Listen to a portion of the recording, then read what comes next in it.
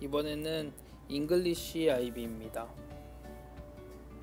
사온 지는 한 4개월 정도 된 것 같은데 성장 속도가 굉장히 빠른 편이에요.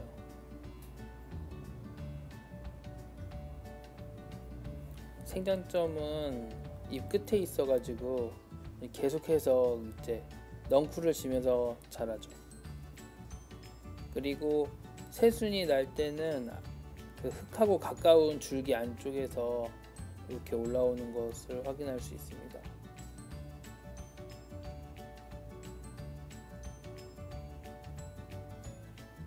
요거 그 아이비를 잘라보면 줄기의 특성이 굉장히 나무랑 같다는 걸 알 수 있어요. 굉장히 목질화 되어 있는 나무고 단단하고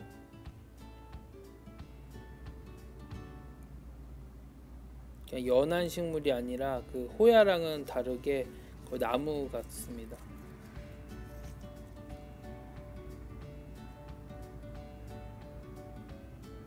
한 3개월 지나니까 한 뼘 정도 자란 것 같은데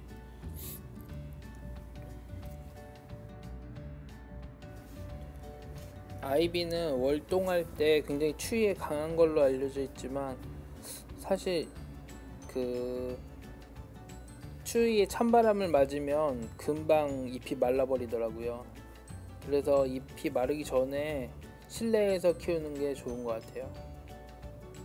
그러니까 제 것도 보면은 찬바람 맞은 쪽 이파리들이 많이 말라 있는데 그 가을에 단풍 드는 거랑 같은 것 같습니다. 그래도 새수는 금방금방 나오니까 그리고 추위를 맞게 되면 새순들이 전부 다 말라버려요.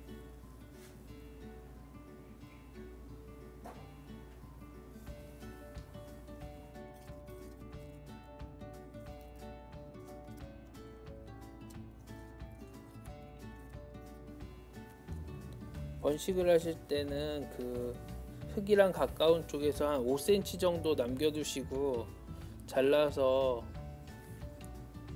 물꽂이나 뭐 꺾꽂이로 바로 흙에 심어도 되거든요.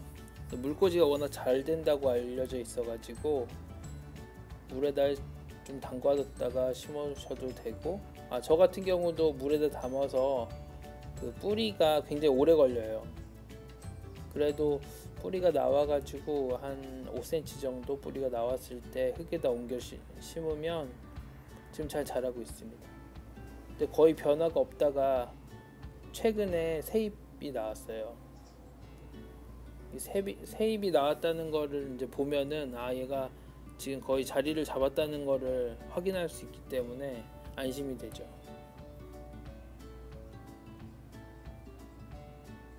그러니까 아이비는 뭐 줄기가 길게 자라면 꼬아가지고 토피어리도 만들고 하니까 뭐 자유롭게 하시면 되고 어, 물주기 같은 경우에는 또 편하게 주시면 되는데 어, 다른 것들이랑 마찬가지로 이제 겉흙이 말랐을 때 좀 기다렸다가 여유 있게 주시면 될 것 같습니다.